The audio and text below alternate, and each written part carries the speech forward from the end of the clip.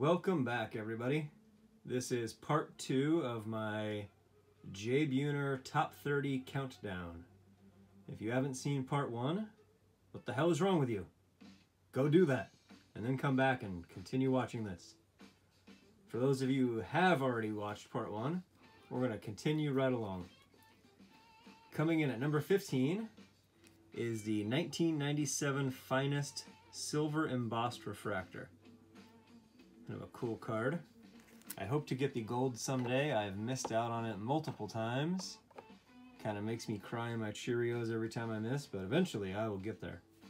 Yes, I will. At number 14 is the 1999 Bowman Chrome Gold Refractor. This one is numbered out of 25.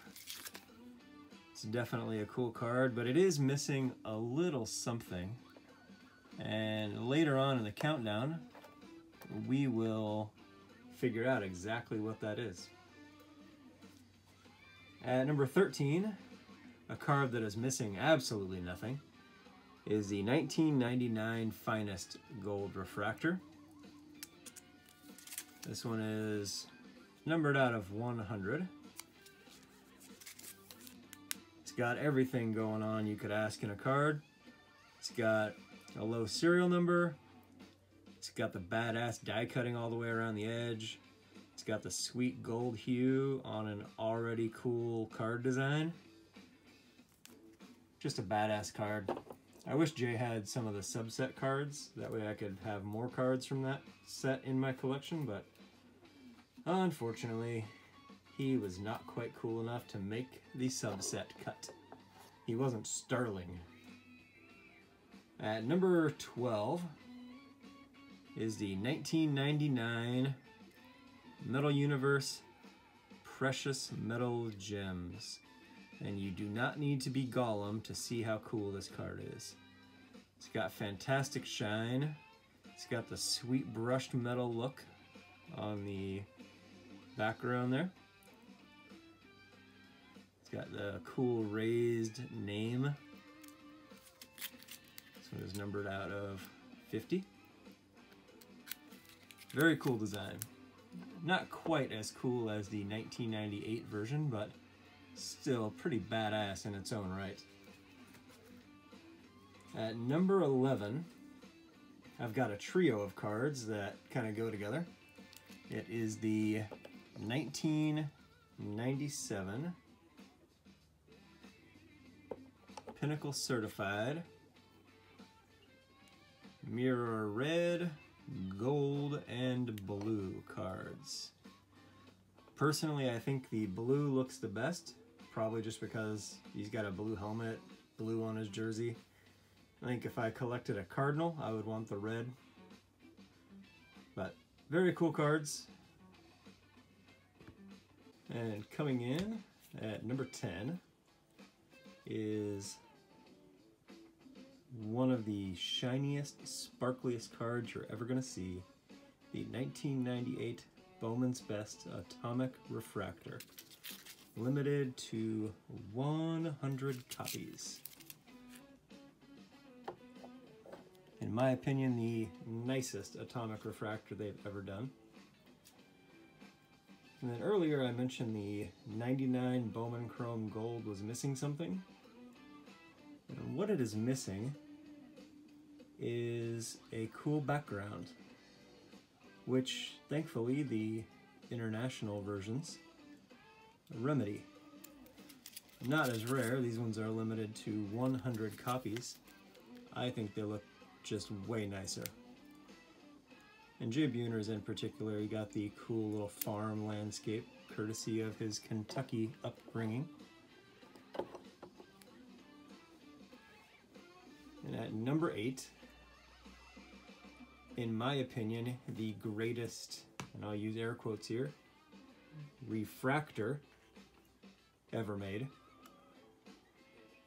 The 1998 Donruss Prized Collections. This is the Donruss Preferred version, a stated print run of 55 copies. I don't know if it's the added texture they put in with the lines or if they just nailed the refractor-like finish better than anybody else. But for my money, refractors have never been done better than they were on that card. And then number seven is a pair of cards. It is the 1998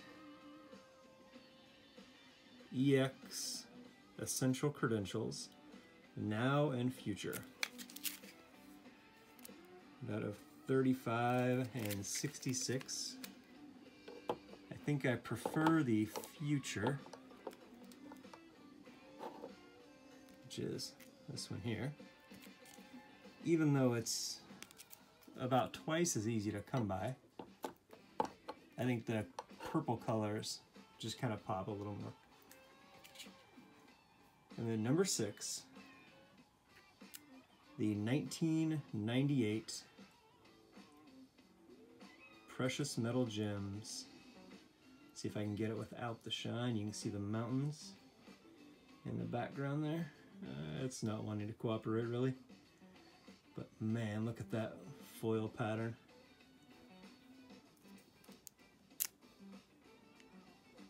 That is beautiful. They reused it on the 2000 SPX, um, I think it's Radiance.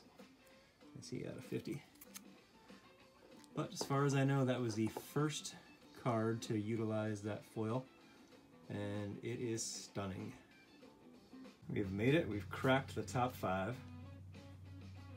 And starting it off at number five is a trio of cards. The 1998 Donruss Crusade red, purple, and green with print runs of 250, 100, and 25. This is a fairly ambitious set spanning multiple products and is definitely one of the more sought after sets of that time frame. And coming in at number four,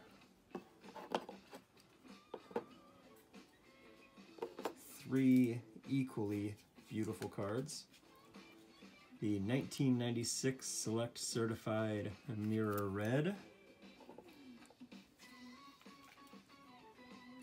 Mirror Blue. And Mirror Gold. Let's see if we can get those apart just enough to actually see all the cards in one shot. It's kind of cool. It had a stated print run of 30, 45, and 90 on the select mirrors. Obviously the gold is the big daddy. It's the only one that has a full color background. Kind of wish the blue one did as well, but I guess you can only do what you can do. Getting down to the best of the best, in my opinion. The top three cards, or as you're going to see, top three groups of cards in my Jay Buhner collection. At number three is a trio of unreleased cards. The 1998 Pinnacle Certified Mirror Gold. Mirror Blue.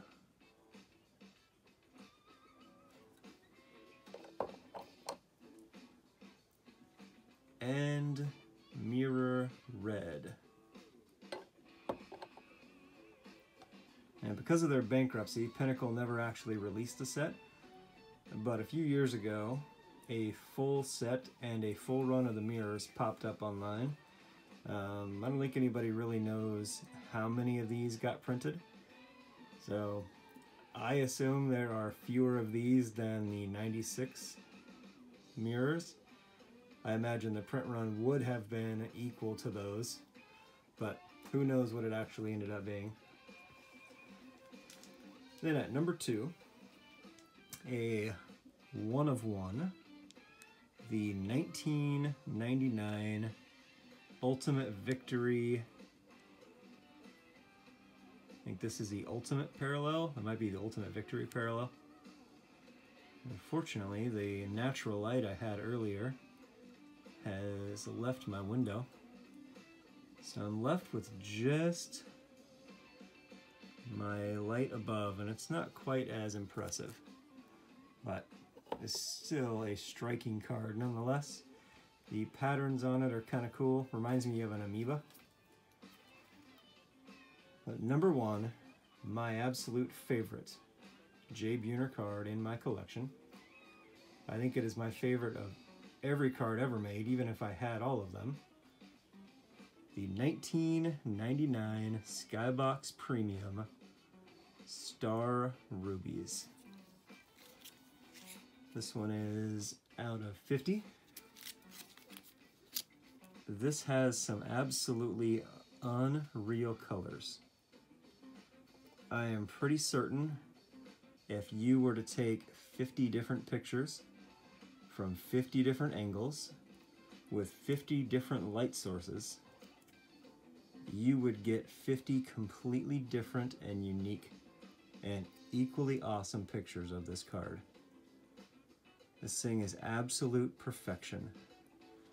The way the player kind of pops out from beyond the foil background, the way the background just kind of fades into the colors, even that sweet red facsimile signature.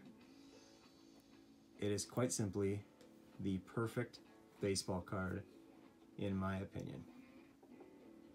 So there you are. I appreciate you tuning in and checking out my top 50 Jay Buhner baseball cards. Take care.